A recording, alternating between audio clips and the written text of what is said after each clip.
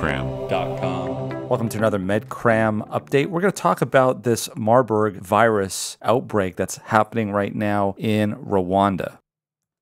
So let's talk classification. The family filovirus is a non segmented, negative sense, SS, or single stranded RNA. And from there, there is Ebola, which we're not going to talk about today because we're talking about Marburg virus. Now, there are two variants that you should be aware of. One of them is the Lake Victoria, and the other one is Ravn. This one is actually pretty rare. This is the majority of the infections that we see. And filovirus means long and stringy. This is actually what it looks like under an electron microscope. And on the surface of these viral particles, there are glycoproteins, which will be important because this is the protein that the immune response is going to see, and that'll become important later when we talk about immunity and vaccines. So, Marburg virus was first discovered in 1967. It started out with Uganda. In Uganda, there were monkeys that were being trapped for scientific research and they were supposed to go directly to Germany, specifically Frankfurt and a place called Marburg.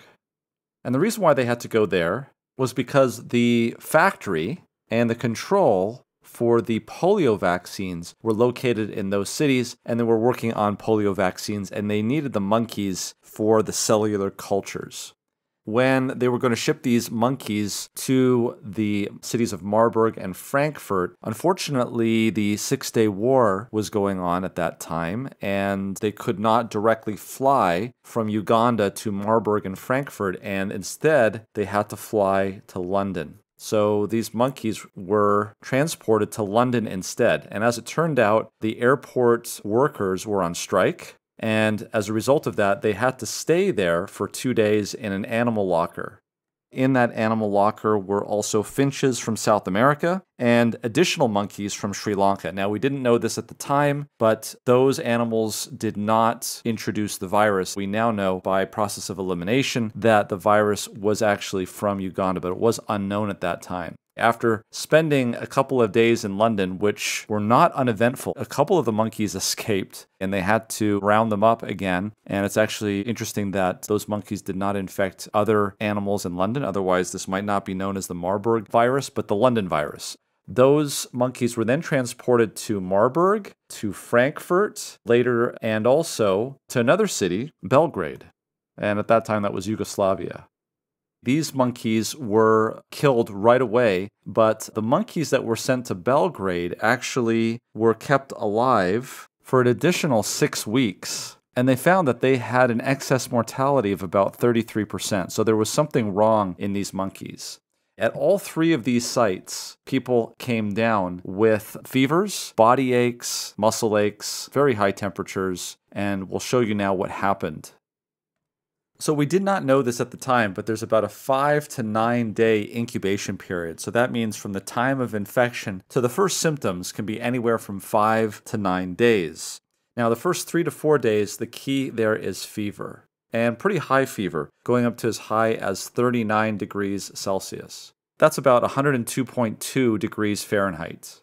The other thing that you would see is malaise, that means basically just feeling low energy. Myalgias, that means having body aches and headaches. By the first week, or starting to get to day seven, you're going to start to see nausea, vomiting, and diarrhea. And at this point, this is when hospitalization usually occurs. Many people hospitalized started to have pink eye or conjunctivitis or rashes.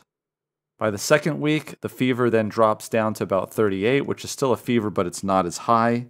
And unfortunately, this is where we start to see hemorrhage, at least in these people that we're looking at in Germany. And we start to see increase in liver function tests. That would be the AST and the ALT. We start to see that the blood coagulation and the white blood cells start to drop. So WBCs start to drop, platelets start to drop as low as less than 10,000. And we start to see bleeding out basically out of every orifice and wherever there is a needle puncture. And basically, for those that died, it was between 7 and 16 days, with an average of about 9 days.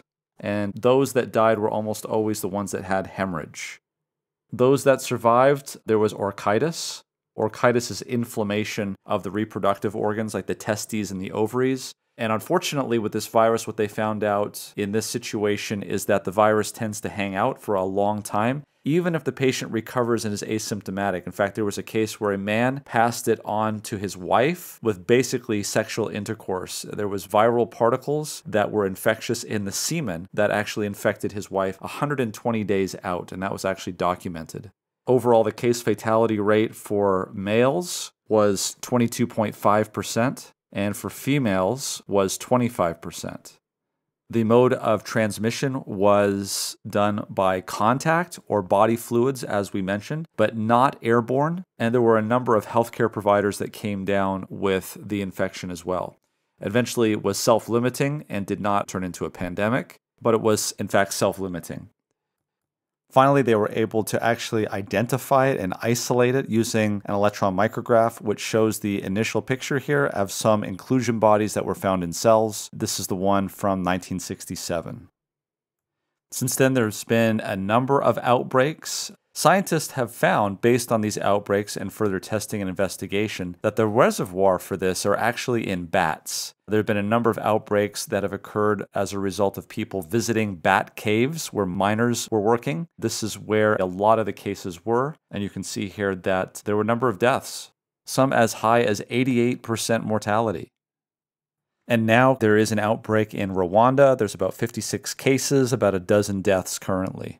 And even though there has not been any confirmed cases in the United States, the CDC is actually screening travelers for Marburg as the outbreak of this Ebola like disease, as it's called, is growing. This is Marburg, which is in the same family as we mentioned, but does act differently. And unfortunately, the therapeutics and vaccines that have been developed for Ebola do not work in Marburg. There are, however, other vaccine and therapeutics that are being looked at. And and we're going to talk about that.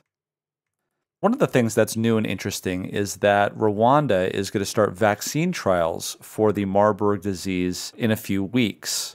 This is a vaccine trial from the Sabin Institute that has been tested in animals, and also now safety tests have been conducted in human beings. This is a traditional type of vaccine which uses an adenovirus to code for a protein on the surface of the Marburg virus. This is not an mRNA vaccine.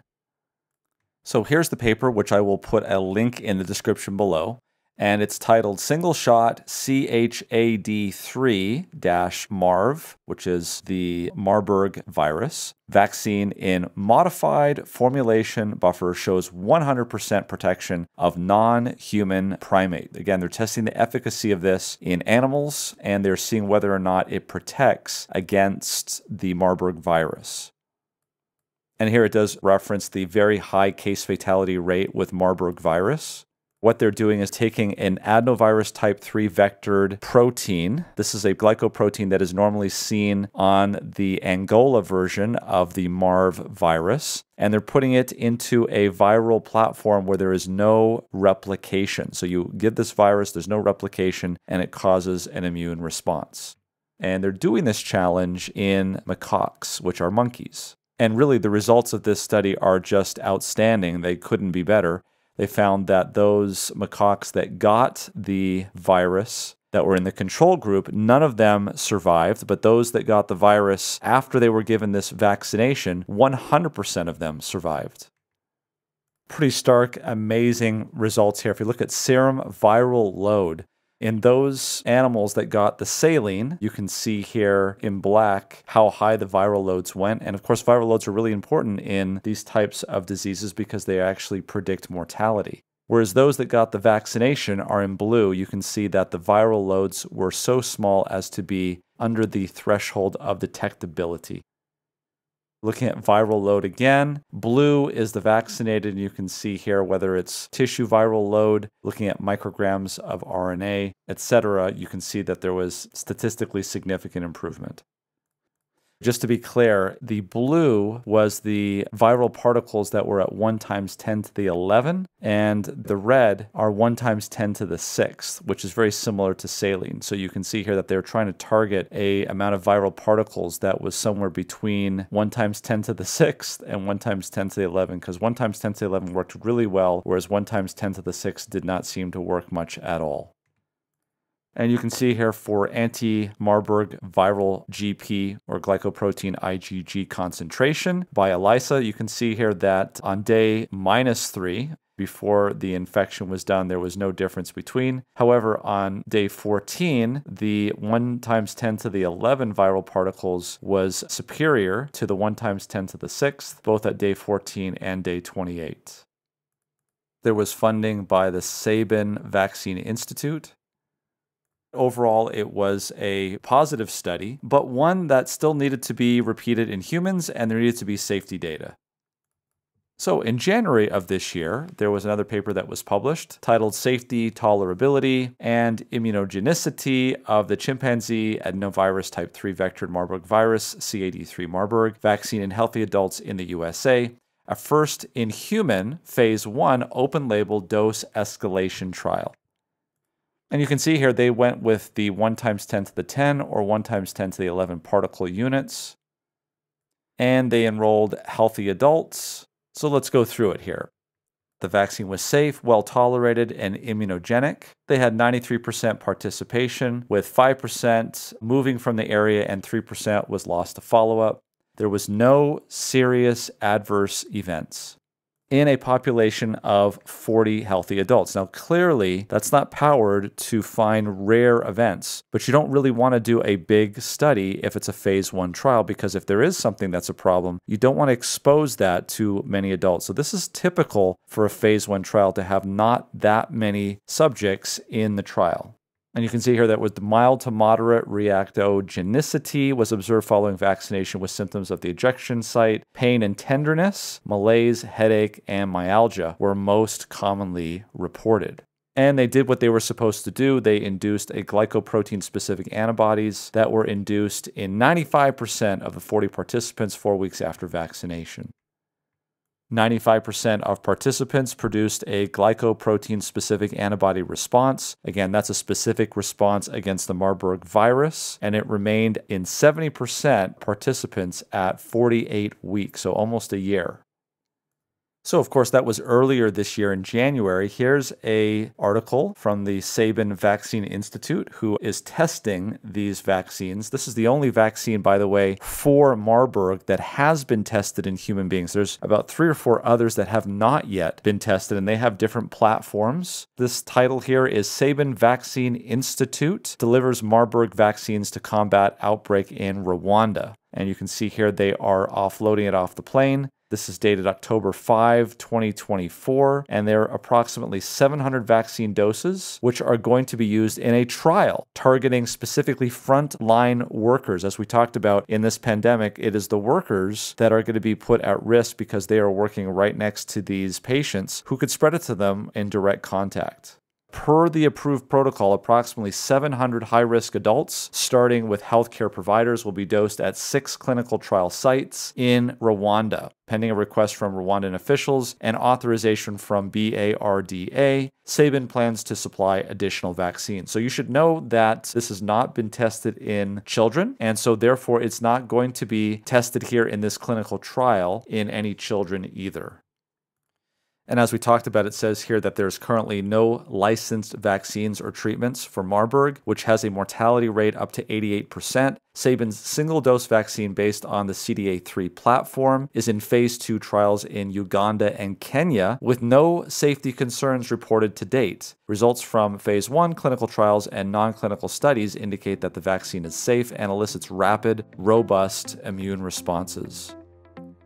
So, this is a breaking story that is going to continue to unfold, and we will cover it as that happens. But we'll also educate you on the virus as things unfold as well. There's a lot of interesting aspects that I want to cover in future videos, not the least of which is the fact that we know that Marburg virus shuts down interferon and also interferes with the ability of the adaptive immune system, that is, antibodies, from doing its thing when it becomes infected.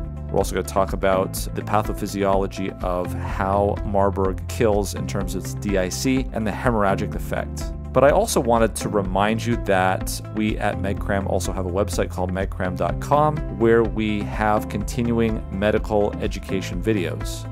Don't forget to subscribe, turn on notifications. Check us out at medcram.com where we have more clarity and less time. Thanks for joining us.